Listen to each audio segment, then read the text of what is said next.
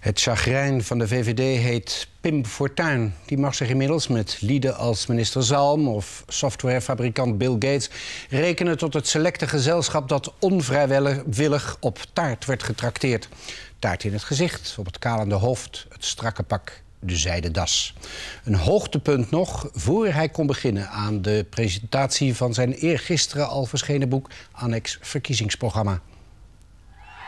Hoewel dus al bekend is wat er in zijn boek staat, was de belangstelling voor Fortuins persconferentie er niet minder op. Vlak voordat Fortuin wilde gaan zitten, sloegen de taartgooiers toe. Op naar de nul zetels. Doet u? Met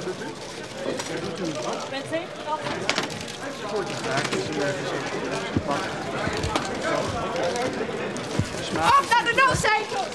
Oh, is een taart. Geen racisme, geen stem. De actievoerders willen Fortuyn van zijn voetstuk stoten, schrijven ze, omdat hij aanzet tot racistische hetsen.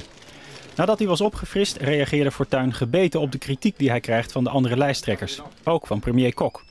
Want Fortuyn voelt zich gedemoniseerd. Minister-president, u bent minister-president van alle Nederlanders.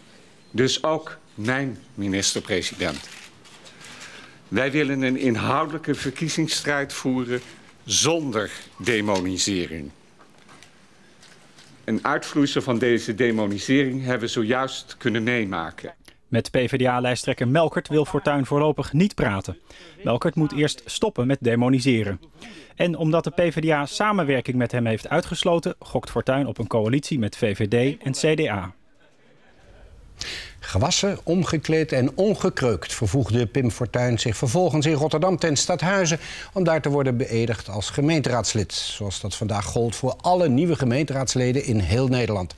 Veel nieuwe gezichten door de grote winst van de lokale partijen met als kampioen Leefbaar Rotterdam. En dat was reden voor nog meer aandacht voor Pim Fortuyn. Dag meneer Fortuyn. Ja. Alweer wat opgefrist? Ja, lijkt me wel. Nieuw pakken. We hebben er nog twintig, dus er kan vandaag een hoop gebeuren. Pim Fortuyn op zijn Pim Fortuyns. Uiterlijk onaangedaan. Zelfverzekerd betreedt hij het stadhuis en de raadzaal. Om triomfantelijk vooraan te gaan zitten als grootste fractie in de raad. Samen met 24 andere nieuwelingen wordt hij beëdigd als raadslid. De heer W.S.P. Fortuyn. Zo waarlijk helpen mij God almachtig. Een beëdiging is normaal alleen een ceremoniële aangelegenheid. Met de komst van Fortuyn wordt alles anders. Het was meteen raak. De eerste daad van Leefbaar Rotterdam was een motie van wantrouwen. Omdat een fractielid zich heeft afgesplitst en op eigen houtje verder wil gaan.